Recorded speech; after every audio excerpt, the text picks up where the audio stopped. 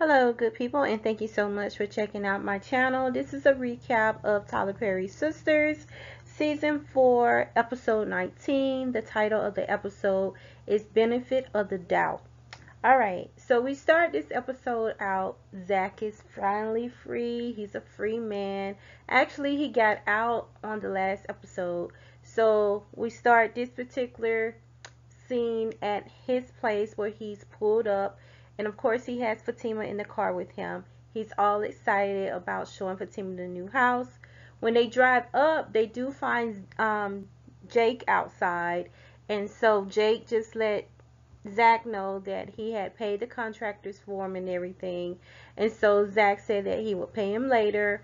And, you know, he's appreciative that he took care of that for him and that he's a really stand-up guy. And so Fatima's like side-eyeing um, Jake because she doesn't know Jake. And Fatima don't trust people like that anyway. And that's pretty much what she tells Zach. So they go inside the house, and of course, as I mentioned before, Zach is really happy and excited about his new home. This is his first time owning a home, and it is very nice. And he's excited to show Fatima everything that he has in place. And he also surprises her with her own set of keys to the house. And then they have a discussion about where he asks her to move in with him. And she's hesitant about moving in, saying that she will move in, but she will keep her place. And so Zach, he's not down for that. He's saying that she needs to let her place go. And they go back and forth with that for a little while. And then they're talking about how much they love each other and care for each other all that stuff. And so she finally says, okay, I'll move in and I'll just let my place go. Girl, keep your place. Don't let your place go. But that's what she said she's to do. All right. And then Fatima had also asked Zach if he felt that they were moving too fast. And of course, Zach then, he doesn't think that they're moving fast. So he pretty much got what he wanted as far as Fatima moving in with him. All right, so then we have the scene where Hayden is at the office with Andy at the law firm, and he approaches Andy, and he's asking her why she didn't tell the police that Zach had came and assaulted him. And so Fatima's, I mean, Andy's like, what? And then so he was like, that's why Fatima can't come back and work for her because he took out a restraining order on Fatima. And Andy was like, You must be down crazy because Fatima, she's going to get one of the attorneys here and she will file a complaint about the hostile environment and also about you bullying her. And she was like, We have so much evidence about all the things you've been doing to Fatima. And so, of course, that nutcase Hayden, he also brings up about Robin, saying that he knows pretty much that Robin and Andy are together, fooling around, and um, you know that he pretty much has have the scoop on them, and so they're just going back and forth, Fatima and um and Hayden crazy self. oh, and so he finally gets mad like a little kid and stomp and stomps off. All right, so then we have Preston. Preston shows up at the bank where Sabrina works, and he goes to get advice from Sabrina about how to, you know, get back with Danny. He's really missing Danny. He made a foolish mistake by going to get advice from Zach, and that didn't work out for him. So now he's trying to get advice from Sabrina about, you know, how he can get with Danny. And so Danny just told him that Dan, I'm sorry, Sabrina shares with Preston that Danny does really like him and he just needs to talk to Danny. And so Preston agrees that he will go and talk to Danny and that, you know, he really is into Danny also. All right. So of course Sabrina picks up the phone and she calls Danny to let him to let her know that Preston stopped by. And while they're on the phone, they go ahead and decided they're going to double date because Sabrina has plans with the Prince Badu, and Danny already had plans with the um, undercover cop that she met at the airport. So they decide they're going to double date. And then we have Fatima and Zach there at the new home. And uh, Fatima's cooking. And Zach shares his plan of buying the house next door you know, so he can invest. And he also mentions Um, I think he's he said his stock was like at two million, and he was trying to decide what to do as far as like selling it or whatever, and that he's gonna talk to Jake about it. And Fatima, once again, she she um, mentioned that she doesn't really trust Jake, and she's asking Zach if she, if he trusts um, Jake like that.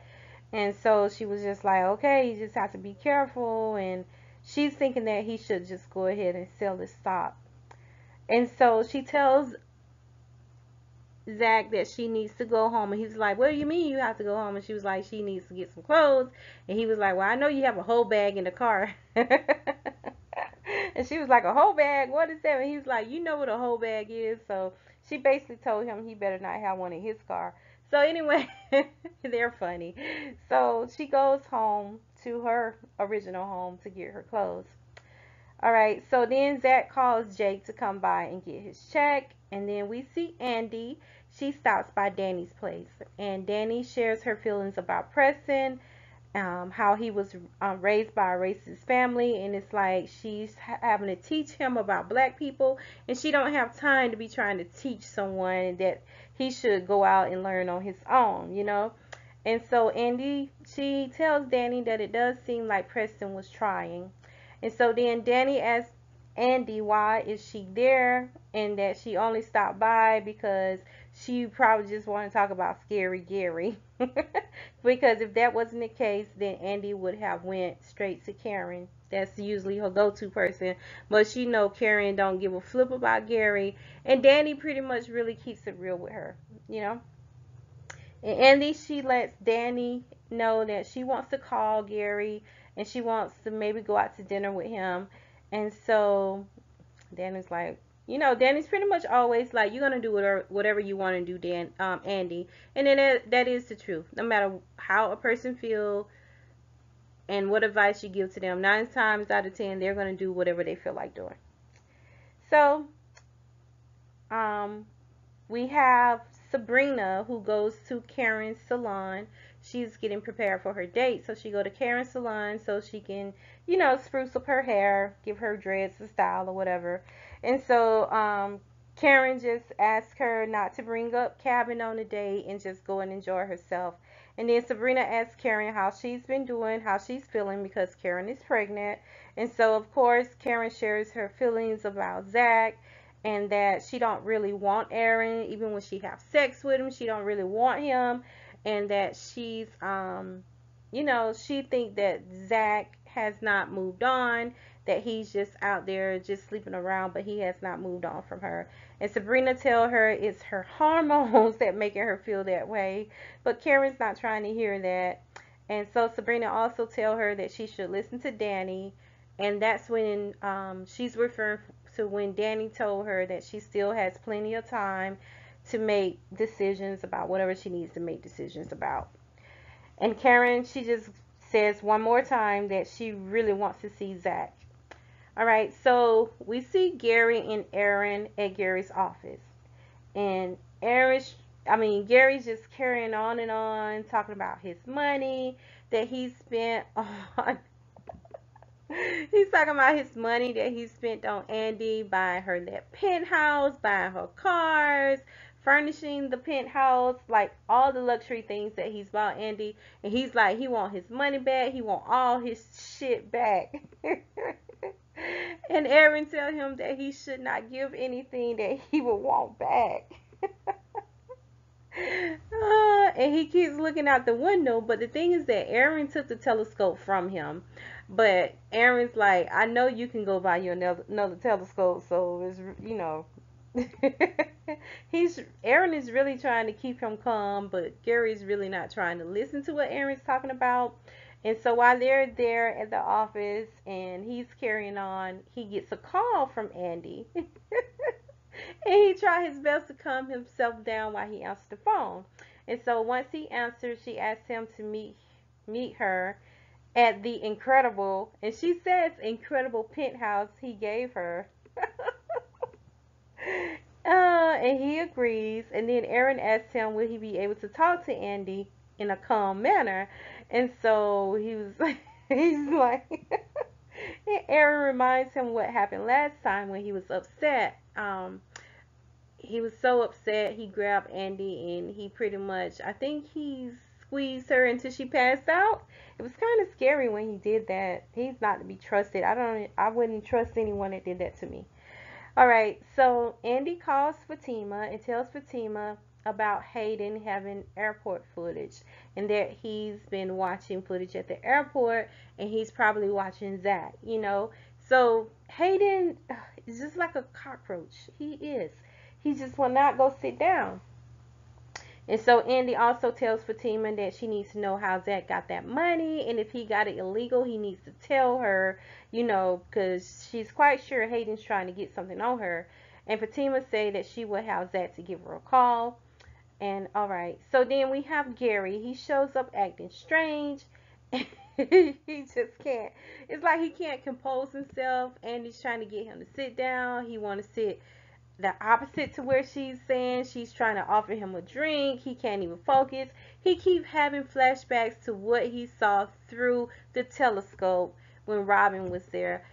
Andy had Robin in that penthouse, and her and Robin had sex in the penthouse, out in the open, where um, Gary could clearly see in the telescope.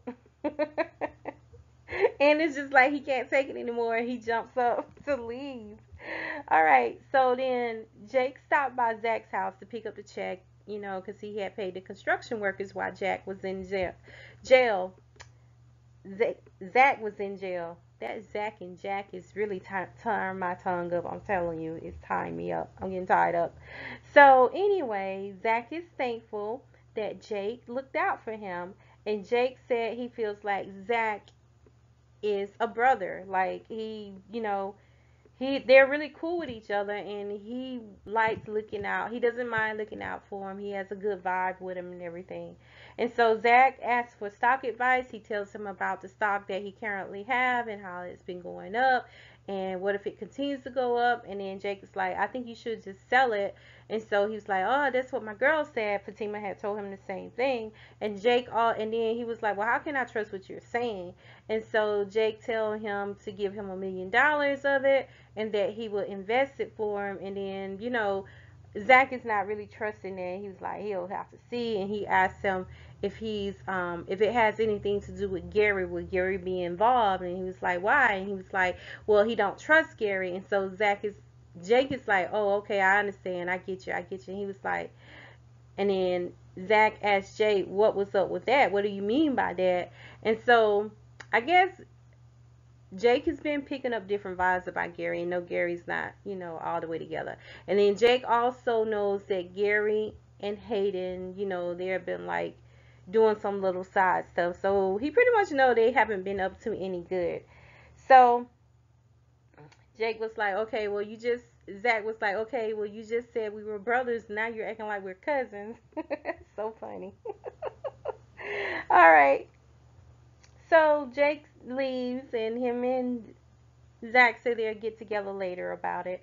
So when Jake leaves, that's when Zach receives a phone call, and there's a woman on the phone, and Zach's like, "Who is this?" And so it sounds like the lady that he got the stock information from, and I almost want to say it is her because she asked him to meet her at the same hotel, and she was saying that she was the one that made him rich. Uh, Zach, please do not fall for it. Don't, don't, don't, don't, don't. Because I have a feeling that Hayden found this lady and he's put two and two together and he's gonna do whatever he can to bring Zach down if it means nothing but having Zach to lose all his money and more than likely try to get Zach back in jail. Alright guys, so overall this was a very good ep episode. I really enjoyed it. I'm looking forward to the next episode. Thank you guys so much for checking out my channel. I hope you continue to have a great day. Bye.